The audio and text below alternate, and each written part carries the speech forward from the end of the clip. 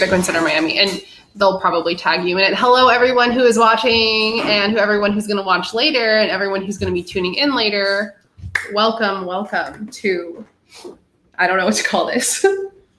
What's a special edition of the Blockchain Center Art and Influence, talking about how art affects our uh, our lives and the different aspects that art can reveal of society in general. Because it's often been said that artists are like antennas that receive, you know, what's happening, even though they don't really know how to process it, and they put it through the art. So it's kind of like, you know, Cassandra, a clairvoyance of what's happening, uh, the zeitgeist of the times. Mm. Very, very true, right? Artists are the ones that that just kind of you know how they have jesters in the old days they were the ones who were allowed to make jokes at the king and they were the only ones that couldn't get in trouble because they were supposed to be the funny comedians art is similar to that to where it's like you can depict what's happening in society and not necessarily get in trouble because it's always people's interpretations so johnny dollar is a great artist great anarchist here is his book at the blockchain center and uh, he's going to show you some cool stuff that he did with this picture. But we live in digital times, in digital art times as well. Um, so we're just going to do so look through some of your paintings, Johnny, and then um, discuss like you painted these. I know a while ago, but the things that you've envisioned, they've all really come to pass. So definitely want to talk about that. Cool. Um, yeah, let's start with. Uh this painting. Okay. Yeah, perfect. So do you want to explain what this one means to you? Uh, well, I call this one uh, Kisses on Main Street. I painted this one on George Orwell's birthday uh, a few years ago. Um, but that has been a theme. I've just been seeing surveillance and cameras around. And if you want to reach okay. Sorry. It, Sorry. it sort of speaks for itself. I'd really um, like I said, like to get y'all's take on it. Mm-hmm. Okay, so first of all, what is George Orwell's birthday? What is the like? You know the, the exact day. I yeah. have to look at my uh, Instagram when I put this out. Okay, okay, okay. And George Orwell is writes what COVID nineteen eighty four. Is that what he writes? Yeah. What did he write that makes George Orwell so famous? That was nineteen eighty four, and a great one called uh, Animal Farm, which mm. is often not mentioned, mm. but that's kind of more relevant, I feel, to where we are. George Orwell's one of those like books that everybody would burn if they could. Not everybody, but the powers that be. Absolutely. Well, actually, they'll keep a copy for themselves as a user manual. Oh wow! It was uh, what was that? Was that yesterday? Two days or uh, last week? Five, last week? Yeah, George Orwell. Happy late birthday, dude. Five days late. but nice. this is this is an honor of you. Yeah. So yeah, no, just talking about the picture. Um, so yeah, obviously, you know, uh, surveillance state. That's definitely you know that's something described in 1984. Like the um, TVs were watching the people um, as a while the people watch the TVs. Um, and uh, yeah, I mean, we can uh, can definitely see that uh, happening today especially things like the Patriot Act, which um, you know basically gets rid of um, the Fourth Amendment, so unreasonable searches and seizures. Um, they're basically able to uh, go through a secret court and uh, basically spy on uh, anybody they want, which is um, which is a pretty big uh, political event going on right now um, with uh, that same court and procedure uh, being used against the Trump campaign. So it's uh, definitely extremely relevant. Um, when did you paint this, Johnny? I painted this about five years ago. Okay. Yeah. I've done uh, different iterations of it, but the, the first one was about five years ago. Wow, that's really wild because if you do think about the surveillance state and what's happening right now, uh, with COVID 1984 happening, right, which is so Orwellian, everything that's occurring, you're seeing now on your iPhone, if you pull it up, there's like a COVID 19 tracker, mm. and you can turn it on or off. And it says that uh, basically what it does is it, it has phones read other phones and it will warn you if you're around somebody who's tested positive for COVID 19. Now, what's interesting is there have been some governors, I'm going to say Maine or Massachusetts, starts with an M, who have come out saying that uh, we're going to use this type of testing on people who are protesting. Mm. Now, as we know, as you guys both know, it never stops at one thing. It's never like, okay, wear a mask and you'll be safe. It's like wear a mask. And then it's like a year later, you know, get a shot. And then a year later, get this chip inserted into your hand, right? Mhm. And so definitely the surveillance state is is being socially acceptable because everybody's afraid.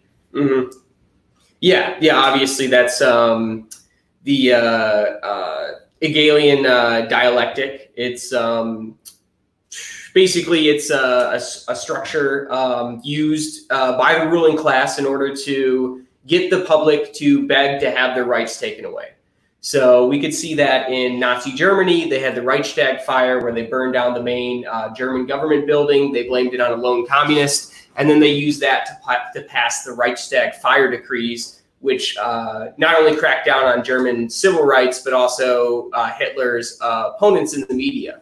So we can we can see a similar thing um, with again the uh, the Patriot Act and of course um, basically what happened in the media afterwards as far as any dissenter uh, any anybody who dissented against the Iraq war or spoke out against it um, were basically fired. I believe is uh, Phil Donahue. I want to say was the um, I believe he was on. s- It was like a daytime talk show host, if I remember. Yeah, yeah, he was on one of the big net- networks, and um, they denied originally that he was fired because he was speaking out against the Iraq War, but later it came out um, in leaked memos that it 100% was. Yeah. And So, also too here, I'm gonna turn this Johnny see to get some better lighting on you. Um but we're all we're all in the same room right now. Yeah. but so like in modern times right we're seeing uh we're seeing two things we're seeing this this earn it bill which we're going to talk about briefly and how that really portrays to this picture. And then we're seeing in china right? I think that they say that for every one person in china there's two cameras. And by the year 20 something it's going to be five cameras per person. And there's a story that i heard when scott and i went to new york for the human rights foundation and it was talking about this girl who um, she in, in China they use public shaming as like a method to to get people to get in line, and they do this in public schools in America. You know, that's their their tr- their type of um, how do you say their type of of discipline is just shame.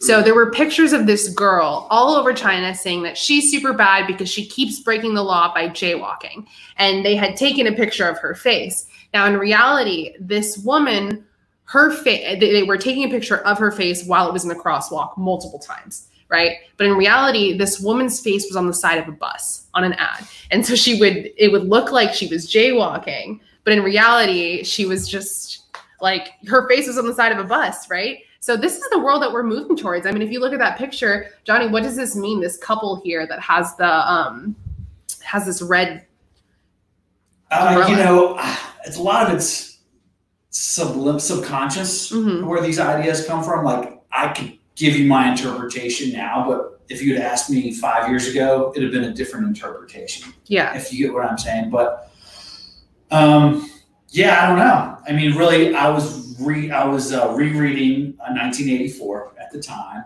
A lot was going on. Um, know, I was really getting into privacy. Like I've been in it for about 10 years, but really getting into it. Um, and yeah, I mean, the, the couple's trying to hide. You know, you can't do anything without being spied upon. I mean, Yeah.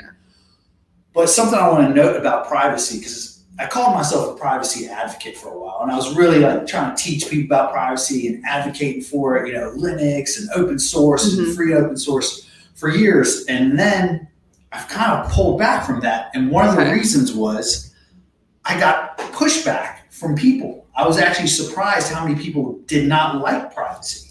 Mhm. There's a certain percentage of the population, you probably know people that like, no closed doors in my house type of attitude.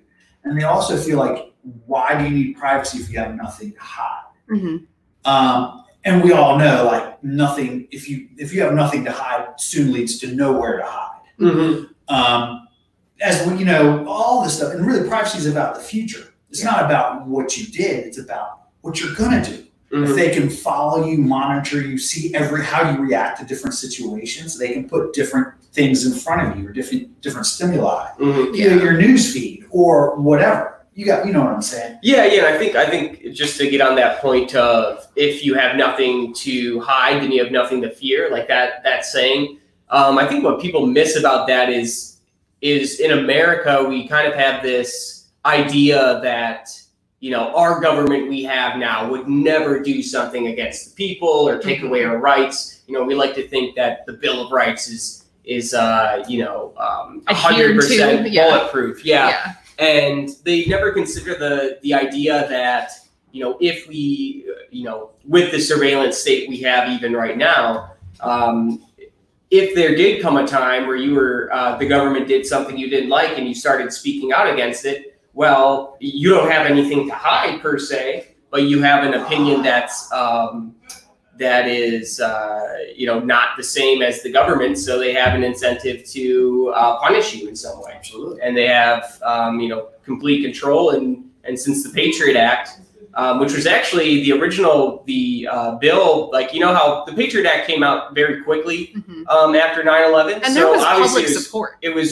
it was uh, written beforehand, and it was actually the basis for the Patriot Act was actually uh, presented by uh, Joe Biden in 1995. So these uh, these restrictions and um, and you know the eroding of our civil rights has, has been in the works for a long time, and uh, Yeah. yeah, so You know, one thing to note is, you know, uh, the Netherlands, you know, Mhm. Holland was one of the best places for Jews to live for Mhm. like 500 years. Okay.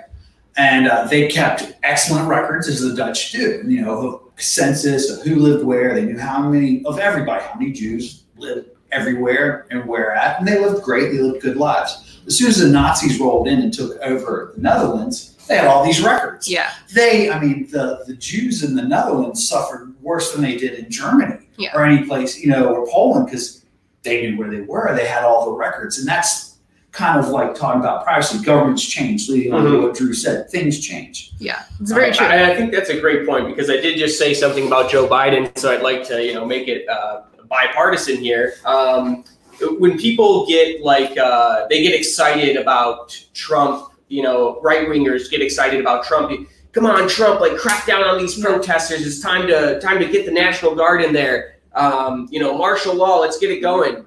And I think it's important to remember, like what Johnny said, is even if you like the president that's currently in charge or your leader that's currently in charge, when you give that uh, presidential position, when you give it more power, then in the future you basically open yourself up to you know somebody you don't like getting those same powers. And I think that um, I think that kind of uh, happened to a lot of uh, people on the left wing. Um, when Trump took power because uh, Obama expanded a lot of the executive powers, and then when Trump took over, they're like, "Oh no!" We And gave it's like, why didn't you yeah. worry about this beforehand? Yeah, because they thought they had it in the bag like they Mhm. do now you know so definitely you need to make sure that who's in government you need to make it equal just in case this person does come on the opposite side and it's interesting because i hear people now that are trump supporters saying that uh, that he's going to we want him to be president for more than eight years and i'm like i would never ever want that as much as i might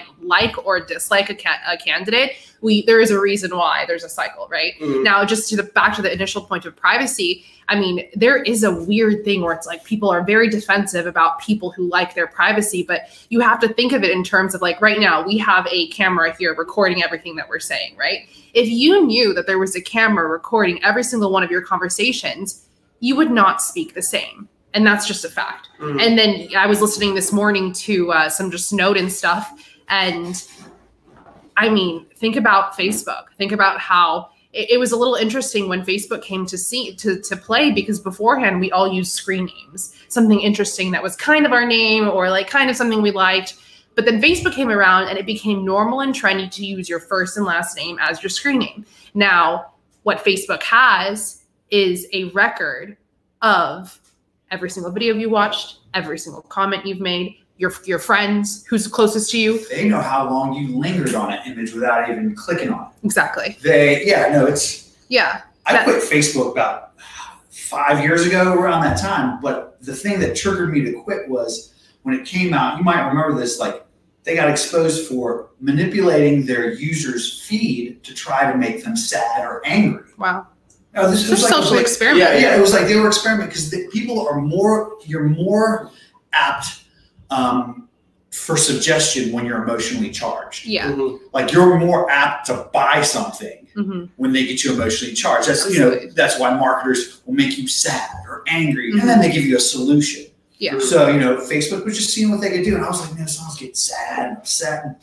What was it that I found out? And that, that's when I was like, I, I, was, that was like the final straw. Yeah. That just made me go, okay, this is this is way too beyond Orwell. Yeah. Yeah. It's a game. Maybe you press the like button, you get a little bit of endorphins. It's a game. I mean, you know, I'd like to think. I always like to think we have free will. Mhm. Well, a lot of times I feel like I'm just like a meat computer. You know, just push buttons. Oh, okay. You know, th- if this happens, then I do this. You know, Yeah. I do believe we have more control, but you have to be cognizant of it. You have to be aware because Yeah. otherwise, you know, we're running on autopilot Yeah. 100 percent of the time. Yeah, yeah, and I think so. There's two points I like to make uh, with what we were just talking about. So first, there's this uh, that concept that we were talking about. We were talking about it earlier. How they can use fear to take away uh, civil rights and increase their surveillance state.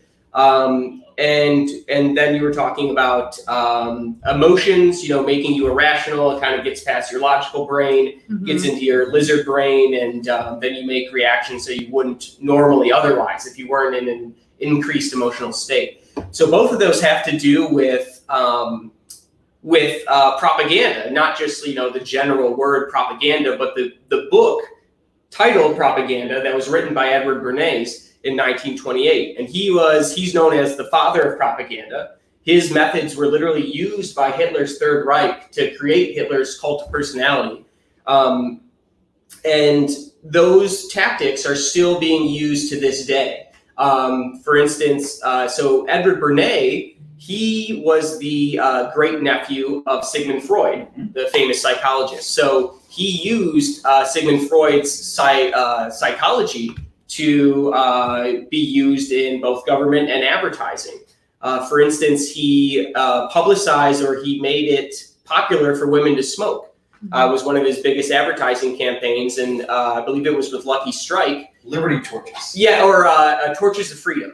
Virginia Slims. that's what Yeah. they were. Oh, really? Okay, okay. Yeah, they, they had that campaign for a long time. You've come a long way, baby, because they they walked, you know, like women were supposed to smoke or unladylike. Mhm. So this was like a stand for you know strong womanhood to smoke cigarettes. Mhm. Yeah, it was a, it was a great play. You know, Mhm. like like bacon. Believe it or not, I, I, I love bacon, but you know, Uh-huh. bacon's like this manly food. And it, they've sexualized it though. It's so weird.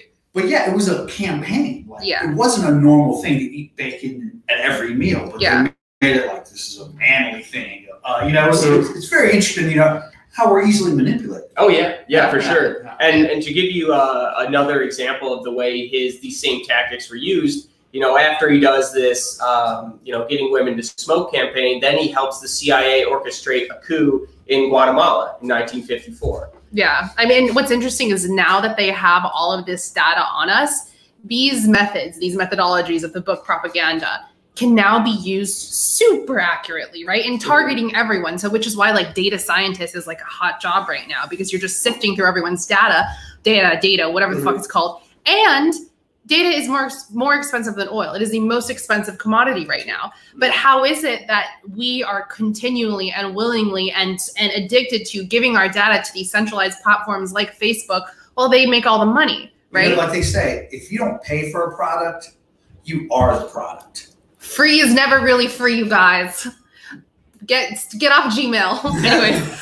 All right. So next next picture. Actually, before we do that, I do want to share my screen because uh, you ta- you talked about the um, the Patriot Act, right? Patriot Act super important. By the way, when we say Patriot Act and we talk about people being suspected to be terrorists, we're not talking about Muslims. I just need to make that clear. Okay, we're talking about U.S. citizens. The Patriot Act. The big thing that they did there was they made it so that. Hi, Scott. Uh, they just made it. They made it so that people who were suspected of being terrorists, even if you were a US citizen, they could indefinitely detain you and you were stripped of your rights. And this is the problem with the Patriot Act. It happened post 9 11 and it had a lot of support because it had this wonderful name of Patriot Act. But in reality, it took away a lot of the rights that you were afforded as an as a citizen. And the other problem with that is like, who's to say what a terrorist is? Like there is no definition for that. So they could mm-hmm. slap a label on you. Like us three probably would be in trouble right now. So the second iteration of this Patriot Act is now in play. And why? I mean, it's because people are afraid. And there's a, a, saying that says when people are afraid, they are more willing to give up their rights in turn in order to achieve some sense of security. But you're really not more secure. Uh, but do you want to talk about this a little bit? The EFF, which is the Electronic Frontier Foundation. You guys should check this out if you're interested. Um, but the Earn It bill. Yeah, so I'm not super um, well read up on the details of the act. I'm just I just know that it is uh, essentially the biggest thing is that it I believe it bans end-to-end encryption mm-hmm. completely, mm-hmm. um, which is end-to-end encryption is basically the only way that we have, given that the internet uh, is you know uh, it's able to be uh, spied on, you know, with the Patriot Act. Uh, the only way you can actually communicate privately is if you're um, sending messages that are encrypted on both sides. So even if somebody intercepts it in the middle, what they're getting is some unreadable um, uh, encrypted message. So they can't even tell what you're talking about. So that's what this Earn It bill is about. And um, yeah, they're trying to they're trying to slide it by right now. I don't even know if they have any like way to directly uh, apply it to what's going on right now. I know a bit about it. Okay, uh, yeah. So so you can't get rid of encryption because you destroy the internet. Yeah. Uh, encryption used to be illegal, by the way. It was considered a weapon for a long time. Yeah. Um, because you know for, for spying, so it was a really big deal to take encryption technology overseas.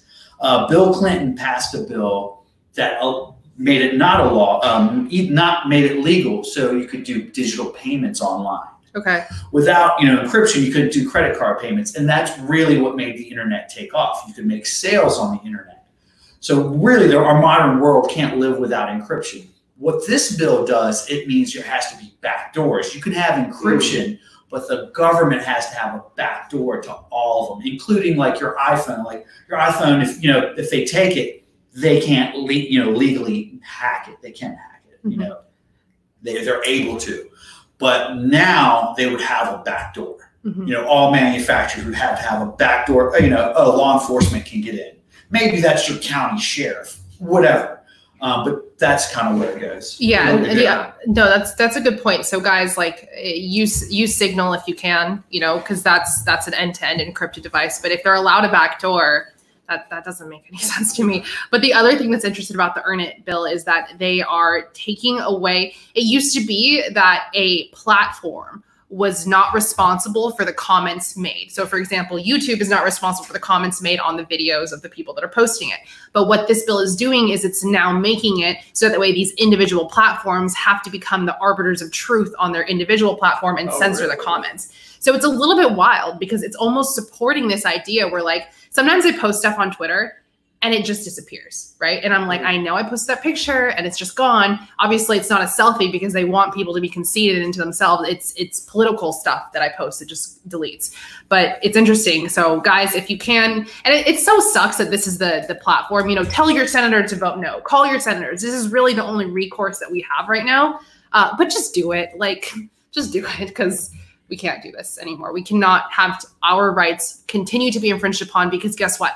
They did not make the internet and they can't they can't put rules on it. Just like they didn't make the beach and they can't tell me to not go to the beach. All right, sorry. Next picture, Johnny. Oops. Add yours. Perfect. Okay, this painting is called Family Dinner. Um, it was inspired by uh, you know, a Thanksgiving dinner with my family uh, a couple years back. Mm-hmm.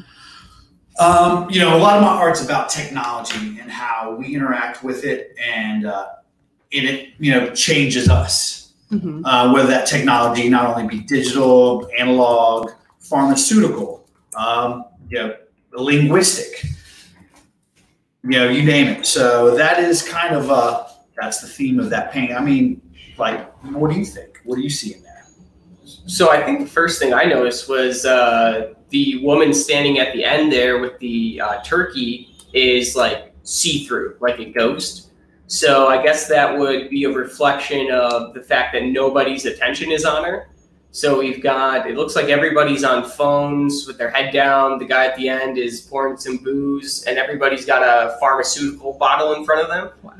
Wow. Um, so yeah, yeah, I guess that speaks to um, just like the constant altered states um, that like humanity is in, um, and like the Distractions. yeah, diverted attention as well. Yeah. Yeah, definitely important. And then you have these outside, just huge pollution that's going on, surveillance states going on, and people are just on their phones. so, There's some of the food on the table. Are they growing weed on the table? Wow, it's my kind of people. I mean, there is no food on the table, and there's this is a cockroach or like a a, a praying mantis. it is praying mantis. Wow. Oh, interesting. What's the what's the book? It's uh, the Tao Te Ching. Oh, interesting. What I uh, I've heard the name. What is what's the book about? Uh, it's just it's the way. Uh, it's Ah. it's uh, the Book of Changes. Um, it's uh, the I mean it's the main text of Taoism. Okay. It's really just a, like a full like a how to live book. Mhm. Really, it's uh, one of those. If you can explain it, you're not explaining it, and if someone is explaining it, they're not explaining it. You know, type of thing. Is it is it written like a collection of I think I like uh like kind of like poetry like short like short stanzas, short Okay. poems. Yeah, Gotcha. Hmm, Very Awesome. interesting. and there's a Venus flytrap on the table Oh, okay. Nice. Because it eats its food. Yeah. You know, that's that's really important to note too, that like everybody's on their phones. It's supposed to be a family dinner, but everybody's in their own worlds. Now, this is a question to the both of you guys. Like, I remember like it used to not be like this. People would have to have interactions around the dinner table. And, you know, especially now with social distancing, everybody keep that magic six number of feet away from each other people are retreating into their own worlds. They're becoming dehumanized. So that means if you do have to kill somebody because you've seen it on TV happen so many times, the likelihood of you doing that becomes much easier because in your brain you've subliminally seen it. And so therefore you think that uh, it, it's just not as big of a feat to kill somebody. Um, now, I guess my question is do you guys think that people or so I saw a picture once where it was like people have always been like this, and it was a, a group of men standing in line, and they were all reading the newspaper. Nobody was talking to each other. So, do you think that people have always been like this, and it's worse now because we have the technology that uh, pushes for it, or do you think that we are being we're just being programmed to be more self-absorbed? It's way worse because your paper didn't look at you back. Yeah. It didn't bing and give you serotonin boosts.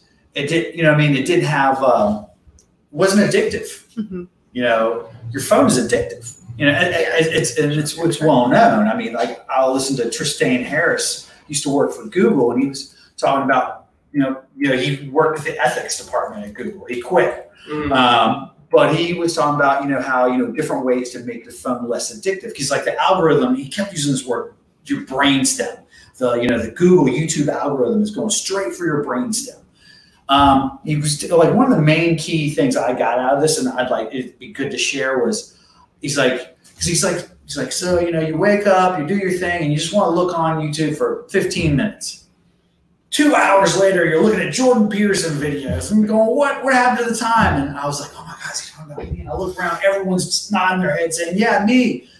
And I was like, "Holy crap, I'm not alone." I felt like I was weak, like it was my willpower. But he was like, "No, it's the algorithm. It's not a person. It's an algorithm. Doesn't care. Doesn't care about you. It just wants your attention. It's constantly learning, going at your brainstem." Mhm. So he talked about like one, you know, he was like 80% of YouTube views are thumbnail clicks, not searches. He's like, you just see an image and you click on it, pretty face, you click on it. Don't even, you click on it before your brain even processes what it is. Mhm. So he was like, turn off your thumbnails, get a plugin that turns off YouTube thumbnails. I tried it, man. My YouTube use went way down. I mean, I was I had to have to actively search. It wasn't just click on. I mean, the, the thumbnail, the images, the words were on the side, but Yeah. not that picture. It's interesting. Yeah, it was, it was really important. The other thing you mentioned was if you want to make your phone less addictive, there's a feature called uh, grayscale. You can make it chromatic, Mhm. uh, so it's just black and white and gray, and it makes it way, way less addictive. Interesting. Wow. Yeah. Chromatic. I'm gonna have to ask you how to change my app settings because Okay, we'll That's do cool. Yeah. yeah, chromatic. I've never heard that. That's a really good tip. for sure. Um, Yeah, phones are addicting though, guys. I mean, they definitely are, and I think that I, I've been to some restaurants lately that because you know Florida is the best, and so we've opened up earlier than most states. If you do not like this, then just leave, okay? I, and it's not that it's not that it's not like you know I hate when people like say you should try to affect change, but here's the thing: there are options of places in the United States that are following what you would like if you like those places, move there. If you like what's happening in Florida, we welcome you here. So don't try to make everything all the same because there's definitely value in choice. Um, but what I've been seeing in restaurants is now like these games where you put all of your phones into bins or you put them all into side things so people will be forced to have conversation. But I think it's important, especially for people that are parents, to just like set the example for your kids and like make sure and make it a point and be very intentional to have times where you're with your family and you're speaking to them and you're actually having meaningful conversation. If you need to go online and Google, like, hey, these are good questions that I can ask my kids, do that. But be very intentional because we are fighting a, a pretty big battle right now, I would say.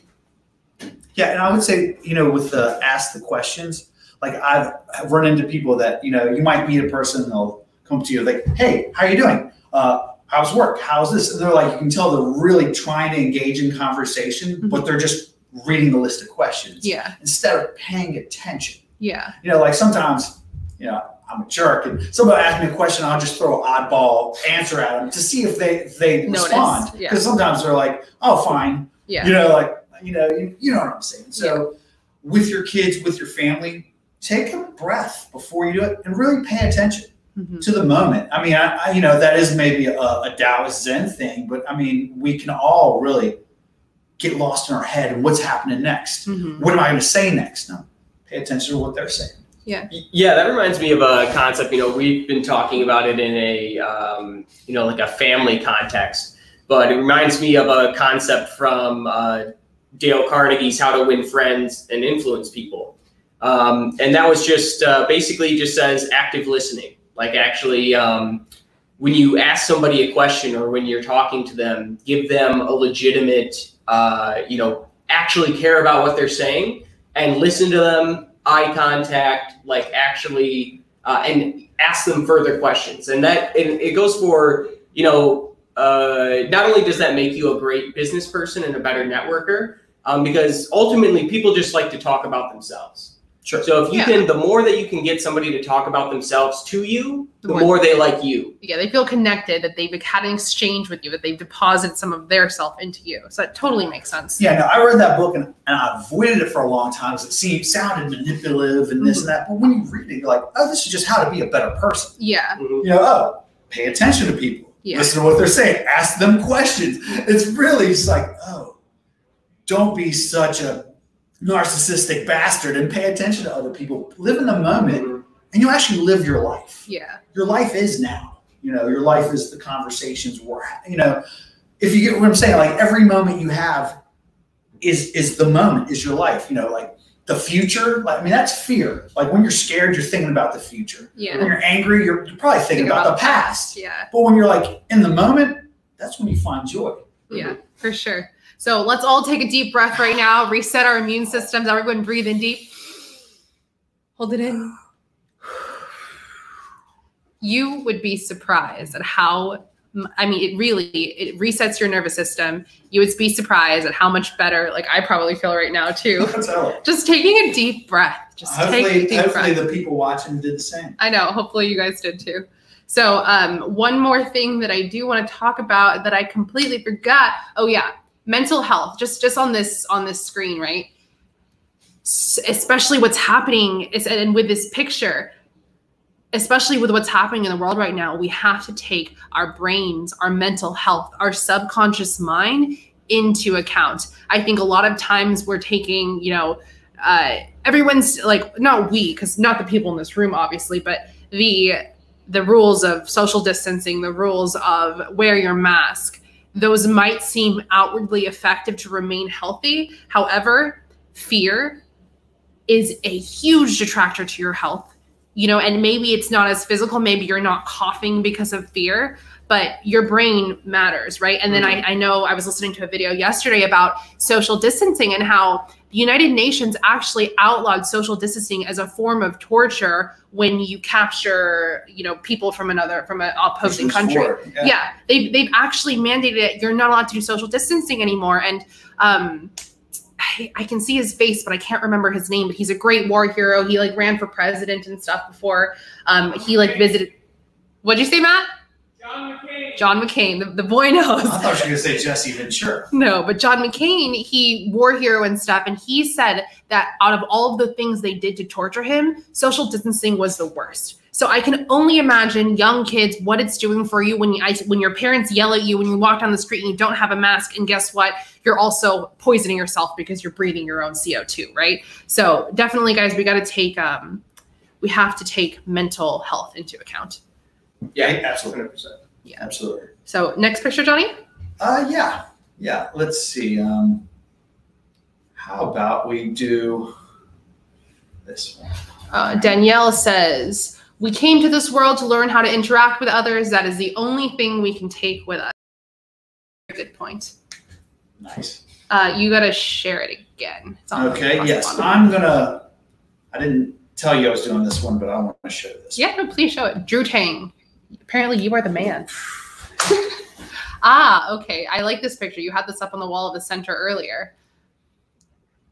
This okay. Um, yeah, I'll, I'll, I'll go ahead and explain this one. This Okay. one is called uh, Conan the Barbarian. Um, it's you know obviously a, a homage to uh, Conan, uh, you know a, a great character, um, as well as comics, but it's also a homage to uh, collectible cards. So I used to do these art for these uh, card games. One of them was called Bitcorn, and they would do these collectible cards. Um, and I made this one to mimic it. So it's you know not only does it you know it's made to look like Photoshop. All these images are different canvases that were mounted onto one canvas, um, and it has a uh, an Opendime hardware wallet embedded within it Very cool. which has some cryptocurrency as well as a certificate of authenticity, an, a token, an NFT of the painting in the painting. hmm That's the painting of itself, you know, um, and I try to make it aesthetically pleasing. But what what inspired this painting on another level was I went to a conference. It was an AI conference, and there was four smart people on stage, very smart, and they were all talking about how AI was going to just take over the world. hmm Uh, two of them were for it, two of them were against it, but they're all like, it's happening no matter what. AI is taking over the world. And you know, I tried to ask a question, but there's a big, big conference and I didn't get my question asked. hmm But afterwards, I thought about it and I was like, you know, that's all bullshit. You know, excuse my language, it's just technocrats. These four, you know, really smart technocrats on stage that, you know, technology, you know, they're smarter than everyone else. Now, they're smart, but they're like, oh, you know, technology is going to take over the world. And I got to thinking, I was like, that's BS. That's just technological hubris hmm whether it be the Sumerians, you know, the Toltecs, the ancient Egyptians, the Romans, they all thought their great technology would last Was forever. the greatest. Yeah. Yeah, with their, you know, and but no, what brought them down every time? The Hmm. barbarian. Okay. So, you know, and they, you know, and you know, they to be, what's different this time? I bet they said that every time. It's different every time Yeah. you know, and you know, history's on my side. And you know, this is you know half jest, but you know, I do believe it. I believe there's a switch in our brains that we aren't built for this technological stuff. You know, this technology, you know, it's all inundating us, is taking over our humanity. But you know, I believe there's a switch in every man, woman Mhm. that sooner or later we just snap, and that barbarian is within us. Yeah. You know, just to like to reset or whatever. Mhm. So that is kind of what inspired this painting, and it's you know it's Conan. He's fighting an, a Cerberus, the three-headed dog, but it's the surveillance camera. That's you know, so cool. uh, Yeah. Um, yeah. Definitely. So, okay, you said a word, technocrats, right? Yes. You want to explain that a little bit? Yeah, so technocrats, um, the idea of a technocracy is that it's a civilization run by um, by the uh, people who are the smartest. Um, so how that applies in uh, in modern civilization is, for instance, uh, we have Bill Gates, who is unelected, um, but somehow he has managed to not only take control of and fund most of our uh, international medical establishment, uh, he also gets to dictate essentially what our response is to a global pandemic, um, which is interesting. Uh, and that's that's an example of um, uh, basically this idea of technocrats, which are pushed extremely hard in pop culture, like. Um, I would say all of Silicon Valley is Yeah. most of it's run by technocrats. Mhm. That It's it's basically it's like we have all of these unelected officials that are making decisions for us, even though we never elected them. But it's because they have control of technology, right? So you have Bill Gates as a prime example. No, Bill Gates, who's this is hard for me to say too because I'm a Gates scholar, so he paid for my college. So I'm like, Oh, wow. great, awesome, you're cool, Bill. But now it's like he's never been a doctor in a, day in his life, but now he gets to make all these decisions on how we get to dictate our health. And then you know another good example is like your your uh, we talk about Bezos, right? Mhm. You know here here's a person who is ahead of the game in technology, but somehow the government mandates that all of the mom and pop shops close down, and Amazon's the only form of commerce that we can use. Mhm. It's like that doesn't make any sense because look at all the outbreaks that have happened at different Amazon locations, and you think that just because it's in a package that it doesn't transmit coronavirus. and who's Like- the official richest man in the world now? It's Bezos, yeah. Yeah. And doesn't he own like newspapers? He owns the Washington Post. Yep. Yeah, Yeah. it's crazy. So, I mean, and then another thing that I really think is cool that when you painted this, Johnny, is corn, right? You specifically used corn for a reason, right? I'm Yeah, sure. yeah. Do you want to talk about corn?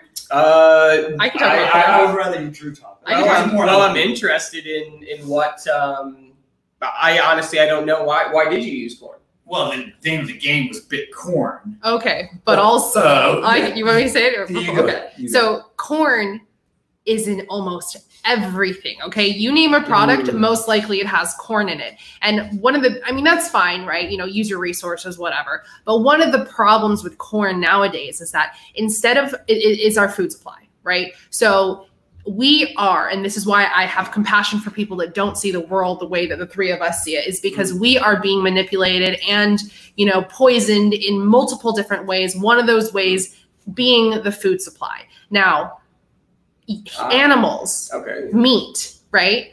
Cows, beef, probably in most countries other than the United States, meat is not like a huge part of what's on your plate. Meat is just like a side thing, and they mostly eat vegetables or whatever it is. But in the United States, meat is in almost every single meal.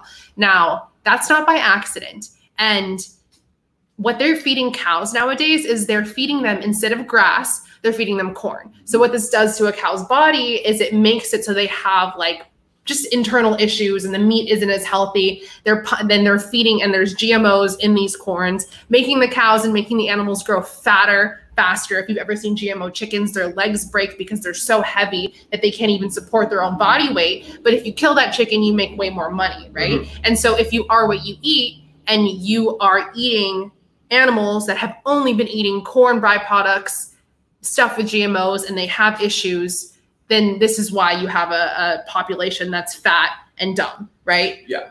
Fat, dumb, and unhappy. And then um, with with cows, it's like if cows eat grass, I don't remember the exact sickness they get from eating corn, but if they eat grass, that sickness just automatically goes away. But with now that they eat corn, it's like they have there's this huge problem. And then also it's like people want to talk about environmental issues and they're like methane, right? Methane, the, the number one cause of methane is cows farting. Mhm. and it's like, why do cows have such stomach problems that they're releasing such methane? It's because they're eating food that they should not be eating, which is corn byproducts. So Mhm. it's really doesn't digest. Yeah, Okay. there you go. Yeah. So, a couple things to add to that. Uh, on the on the cow front directly, the only reason that uh, we were talking about how other civilizations they don't have meat in every meal. Why is that? Is because the costs are too high. Um, so, how did we end up in a situation where our costs are low enough to have it in every meal? Um, like we were talking about um, feeding them corn, which is you know uh, much uh, more cost efficient way. But the only reason that's even cost efficient is because the government subsidizes corn. Mm, So um, so it's a uh, artificial. It's not even an actual free market result. Um, it is a government interve- intervention um, result. So there, that's one aspect. The second aspect, again, uh, is relates to Bill Gates, big investor in Monsanto. Um, and so people are familiar, I think, with um, kind of the GMO concept.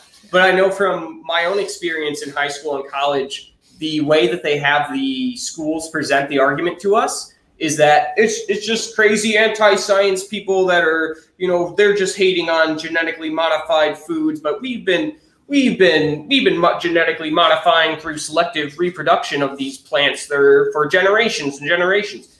The difference is now the reason they're getting genetically modified is so that they can resist the extremely toxic pesticides that we spray on them.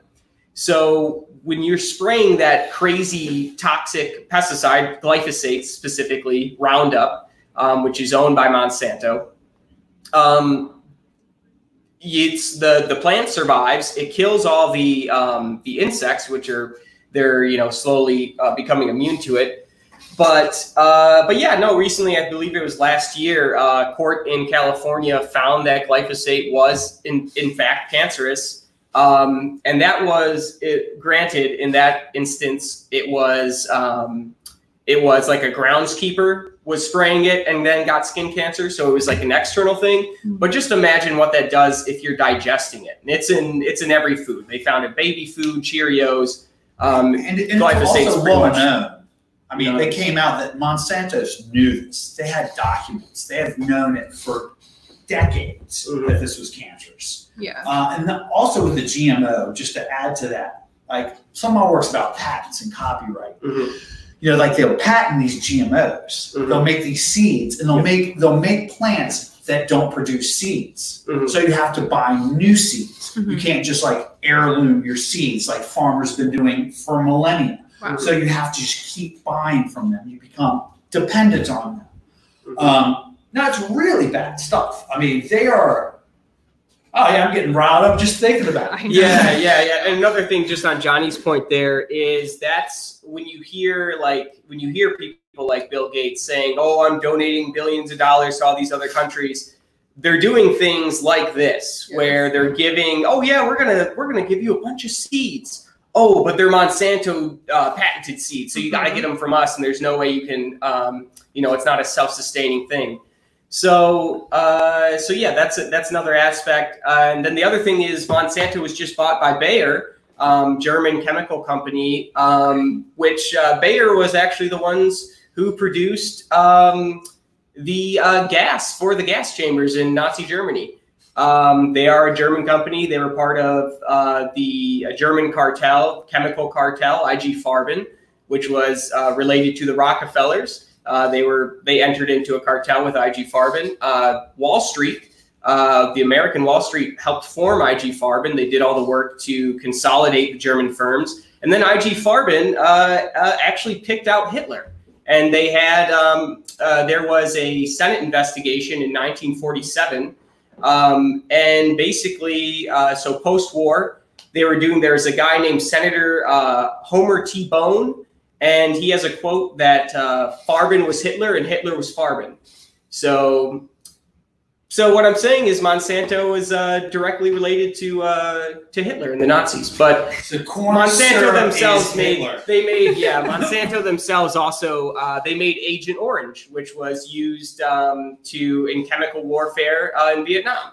And still leads to crazy um, birth defects in Vietnam to this day.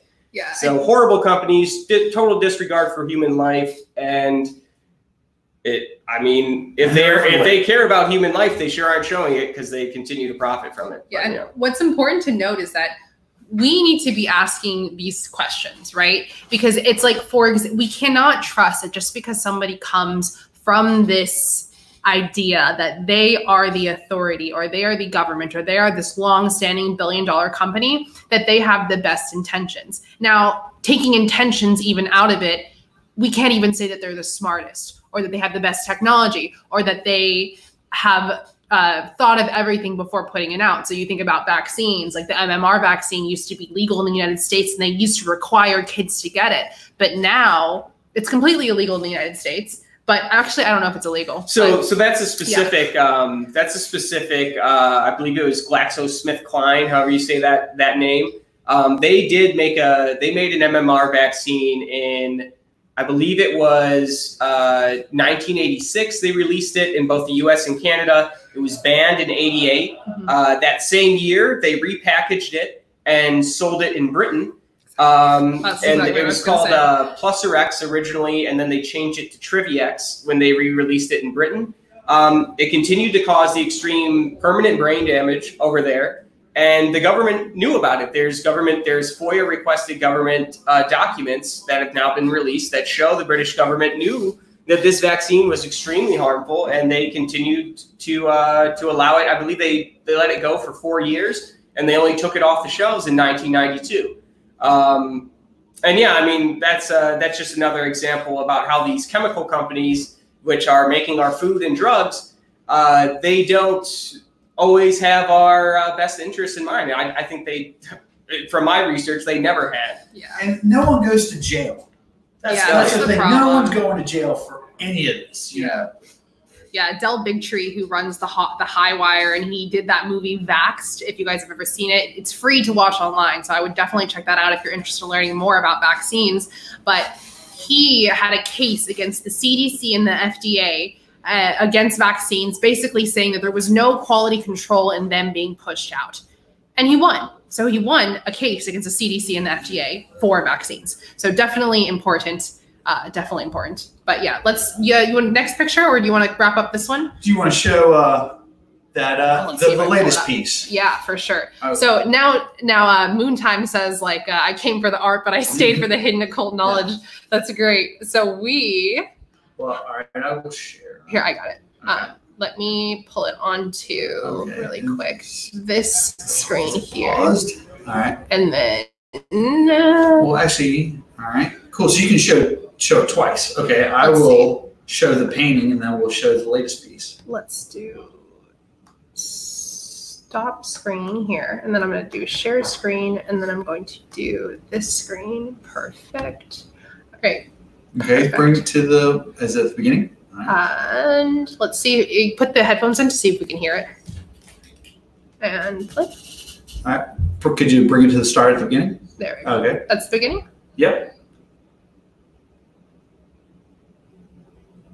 can you hear it perfect cool they should be able to hear it then online so interpretation guys this is great let's see if i can hide this and we'll just play it over and again um So this is my latest piece. Uh, it's from an old painting. I've made an animation for it. It this is now- the original right here on the front and now it's animated this is cool So yeah, if you uh, it's AR. If you have the book or the art or print, you can put your phone over it, and this will play. Uh, it's called Puppet Show. I think it's uh, self-explanatory. Um, but uh, yeah, if, if for any viewers internationally, the uh, the elephant and the donkey are the mascots of the Democratic and Republican Party here in uh, the United States. Uh, some are called, um, yeah, they're the same party um, Mhm. on lots of levels. it's an And illusion of choice It's illusion. It's a puppet show, and just everyone's entertained. Everything's falling apart around them. But uh, hey, they just do that dance. I know. Crazy. You know, re- really the big thing that annoys me right now is when people who only recently started paying attention Mhm. want to come in and say, like, oh, the government's so bad right now. And they want to blame everything, the last 70 freaking years or whatever, on the current administration. And I'm just like, did you just start paying attention? Because if you Mhm. did, you don't realize that there is a, co- a complete buildup as to why there are all these issues. You can't blame it on like it's so frustrating because like I'm a huge proponent who's like the government has too much power, too much power, too much power, too much power. Mhm. And now people that are jumping on that bandwagon of things that us, like we, the people, like us three, have been sharing for so long. I mean, they are saying the same message, but they're directing it towards the wrong people. Yeah, those yeah those type of people are you know ultimately being driven by their hatred of a of a certain political figure, whether that be caused by the media, 100 percent is 24 seven. But um, they're which is great. I mean, God bless them. They're you know waking up. I'm glad you guys finally noticed what was going on. Um, but but yeah, no, I think it's important. You got to um, you got to zoom out. So this I think that's what makes this uh, what makes this so great is not only do you see that you know both sides are um, are being uh, ultimately controlled by a puppet master, you also get the fact that the masses are so enthralled by the constant show that they don't notice above them the security state watching them and then the Statue of Liberty falling over. Um, which is yeah, yeah, beautiful stuff. And I think um, the audio, which hopefully uh, I think we are trying to get it to to go through. Hopefully it is, but it's like the do do do do do do do do like it's just a big circus. So Yeah. um, so yeah, no. Well, you know the old saying, bread and circuses. Mm, yeah. Uh, and do you know that saying, Erica? Uh, bread and circuses? Yeah. Mm-mm, I do not. Um, it's an old saying, uh, or in for the uh, the Latins, uh, "pani toros." Okay. It's an old expression that was uh, bred in bulls. Uh-huh. Uh, but bred in circuses, uh, gladiators used to have like three gladiators at a time. That was a circus. Mhm. So they would bring on the gladiators to entertain the Romans. And they'd give, if they had their entertainment and their bread, they didn't care about the government. They didn't care what was happening. You know, and kind of like, you know, now, you know, NFL and, and, you know, and your chicken wings. Hey, I don't care what's happening in the world. Yeah. And one of the things, you know, you just mentioned that people are starting to pay attention. It's because they can't watch sports anymore. Exactly. Mm. Yeah, it's crazy because like you think the people that are pulling the strings, these hands, you know, in the picture, you think they would be smarter than that, right? You think they would keep oh, sports keep playing, keep playing, keep playing, so you can keep the people distracted while all this other stuff is happening. But in reality, it's like I think I heard somebody at the, at the Bitcoin Center say this today because the sports have ceased, they start paying attention because there's not, what else are they going to do? Mhm. Yeah. Yeah, and which is ultimately, you know, I can see on a higher level um, how right now that's being, you know, weaponized where there's no sports. So now we can, you know, people are paying attention. Um, so now they've made sure to make it so um, what they're paying attention to is the most divisive um, politics and especially the most divisive events, possibly, you know, violent rioting and looting, um, is, you know, that's ultimately. Um, so there's Johnny talked about bread and circus, Mhm. which is, you know, that dates back to Roman times, like we were talking about gladiators. Um, there's another expression, divide and conquer, which is um, basically you get uh, how a small group rules a very large group of people is the small group gets the large group to fight each other. And while the people are fighting each other on the streets, they never have time to look up and see you laughing at them from your skyscrapers. So that's essentially, um, you know, again, that's another uh, theme of what's going on in this picture right here. Yeah, definitely. All of these people are not looking at the hands. They're not even on the same field as the hands. They are looking directly at this donkey and elephant. Do you guys know why it's a donkey and elephant? By the way, I'm just curious. No, we'll have to look that up for the next for the next digital art and digital times stream. Uh, but we are coming up on the hour. Any closing messages from you, and then let you close out, Johnny? Um, hmm, I was trying to think of other things I wanted to add earlier that we didn't get to.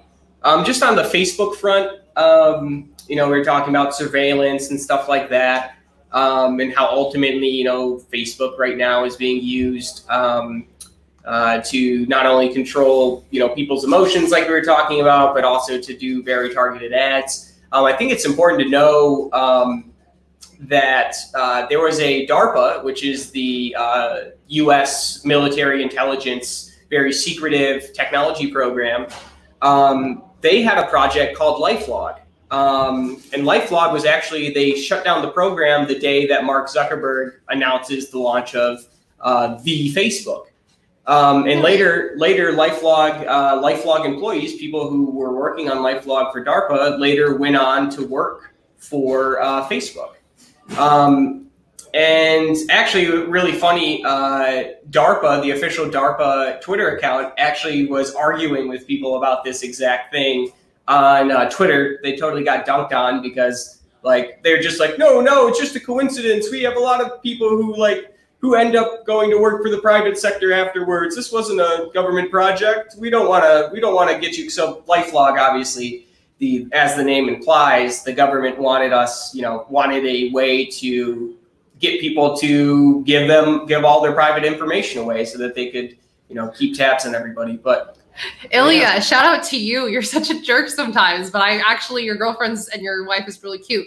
So I'm gonna be nice to you. But I only asked if you if it obviously the picture is a donkey and elephant because it's the Republican and the Democrat Party. But if you know why it rep those images and those particular pictures represent the Democratic Party, please share your knowledge since you know everything.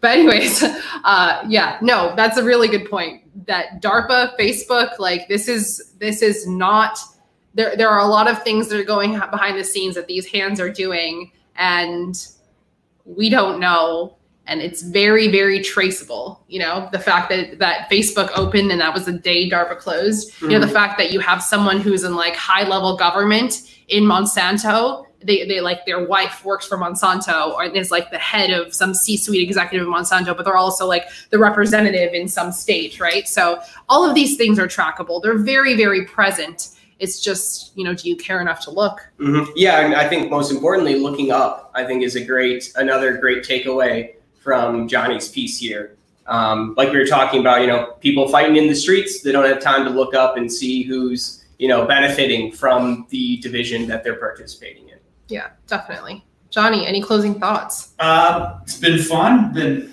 like to do it again sometime. Always yeah. fun to hang out with my friends at the Blockchain Center. Um, closing statements. Um, yeah, this new piece is just done. This, you guys are the first guys to see it. Um, I am tokenizing it and going to drop it later this week. You can find that. I'll be posting the link on Twitter um, at Johnny Dollar Art on Twitter. Follow him, guys. and uh, yeah, it's been great. I uh, hope you guys have enjoyed it. Cool. Well, thank you everybody for joining. We, if you like this, let us know. We'll do something like this again for sure, especially while you're here. Drew's normally in where. Well, you don't share this on the internet but yeah, Johnny's don't share this on the internet. digital times for digital age, protect yourself in many different ways. And now we have cool digital art. Do you want to show them really fast, Johnny, how it, it appears sure. on your phone? Here, let's just, what I'll do is I'll turn this towards you, this camera. He's been in the same room as the whole time. And we have this book, which is the original version of this. Here, let me actually go like this. Okay. So we have this book, okay. and you just want to show them. Okay, is it okay? Just look at this one here. All right, so I use this app called Artivive, right here, and what it does is. Let me hold this for you.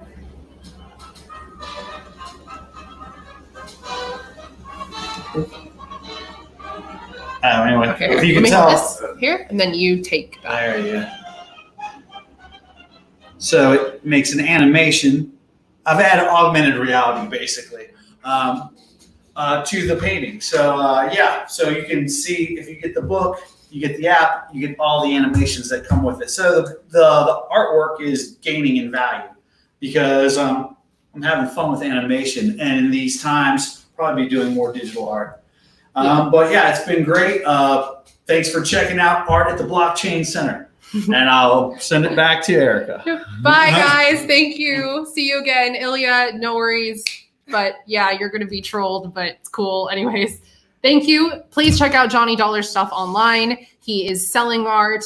He's here in Miami. If you're here, come check out his studio. He has a studio right across the street from the Blockchain Center. Does a lot of really great stuff and is moving into the digital art scene you guys probably already know Drew. Drew is a wealth of knowledge here and definitely happy to have him. Definitely happy to have a lot of like minds. If you've never visited the Blockchain Center before, please come check us out at blockchaincenter.com. Subscribe to our mailing list and follow us on channels because we're going to be doing more videos like this. Okay, bye.